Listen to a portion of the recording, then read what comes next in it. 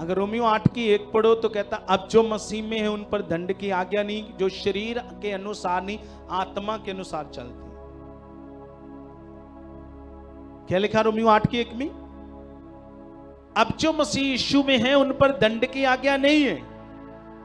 दंड मतलब पाप की सजा। जो शरीर के अनुसार नहीं, जो आत्मा के अनुसार चलते क्योंकि इस समय कौन सा प्रबंध है? आत्मा का।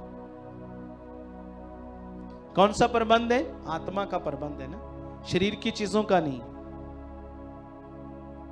बोलो क्या है? शरीर की चीज़ों का प्रबंध नहीं है। कोई मटेरियल वस्तु की चीज़ों का प्रबंध नहीं है। आत्मा का प्रबंध है। तो अपने किस चीज़ का विश्वास करना है? बोलो किसका करना है?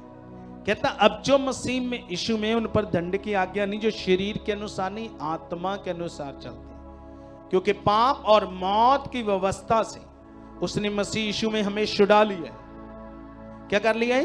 पाप और मौत की व्यवस्था से उसने यीशु मसीह में हमें छुड़ा लिया है।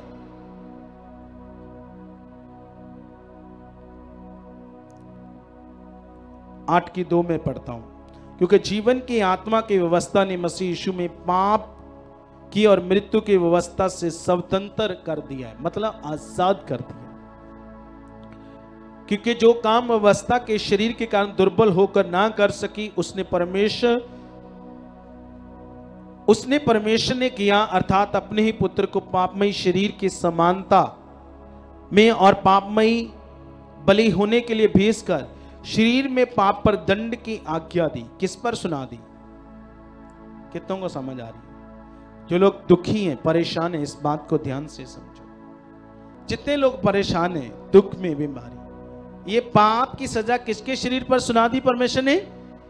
यीशु के शरीर पर सुना इसलिए जो रोमियो आठ की एक है, कहता जो मसीह में उन पर दंड की आज्ञा नहीं, क्योंकि शरीर के अनुसार नहीं, जो आत्मा के अनुसार चलते बोलो कहें अभी मैं इसको क्लियर करता हूँ आगे। पाँच में लिखा, इसलिए व्यवस्था की विधि हम में चार में लिखा, चार और पाँच में।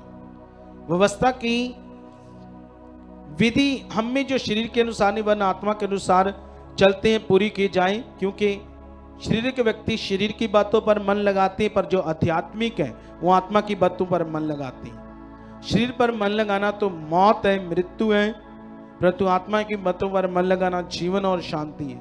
क्योंकि शरीर पर मन लगाना तो परमेश्वर से बैर रखना है क्योंकि ना परमेश्वर की आ, क्योंकि ना तो परमेश्वर की व्यवस्था के अधीन न हो सकता है, क्योंकि जो शरीर की दशा में परमेश्वर को खुश नहीं कर सकते। क्या नहीं कर सकती?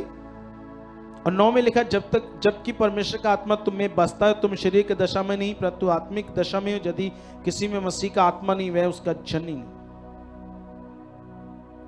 कितनों को समझ आई? फिर से मैं आपको समझाता हूँ ताकि आप समझ जाओ।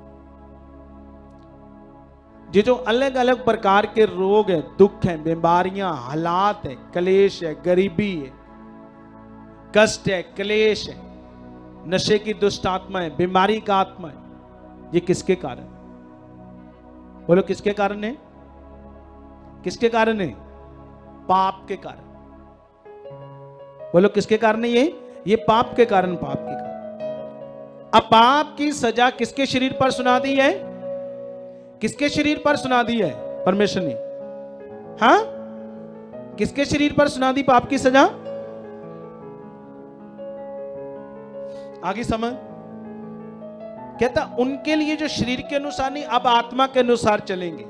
अब अगर आप आत्मा के अनुसार चलोगे तो आप हमेशा ये विश्वास करो क्या करोगे? आप हमेशा ये विश्वास करोगे कि ये मेरे लिए नहीं है। क्योंकि मेरे परमेश्वर ने, मेरे पिता ने जो मेरी बीमारी की सजा है, वो यीशु के शरीर पर सुना दी। जैसे पॉलस कहता, मैं अब जीवित ना रहा, मैं मसीह यीशु के साथ क्रूस पर चढ़ाया गया। अब मैं जीवित ना रहा, मसीह मुझमें जी। मैं तो पाप के लिए उसके साथ, जब वो मर गया तो मैं भी मर गया। जब वो सामर्थ से जी उठा, जब मैंने सामर्थ के वचन को विश्वास से विश्वास किया तो मैं भी जी उठा। अब समझ आ गई कि नहीं आई आई? क्योंकि ये जो सजा है, आपके जितने भी प्रकार के रोग हैं, किसके शरीर पर सुना दी? अब उसका मतलब है जो मसीह में उन पर दंड की आज्ञा नहीं, जो शरीर के अनुसार नहीं, जो आत्मा के अनुसार चले। अब आत्मा के अनुसार चलने वाला व्यक्ति क्या करेगा? शरीर की बातों पर मन नहीं लगाएगा। किस पर नहीं मन लगाएगा वो? वो शरीर की बात पर नहीं मन लगाएगा। ये क्यों नहीं हो रहा? हाँ? क्या कारण है? वो आत्मा की बात पर मन लगाएगा कि मेरा तो हो चुका है। हाँ? वो धन्यवाद करेगा, मेरा तो मेरा तो हो चुका आगे समझ? कहता, नहीं तो मसीह का मरना व्यर्थ है। बोलो, क्या मसीह का मरना?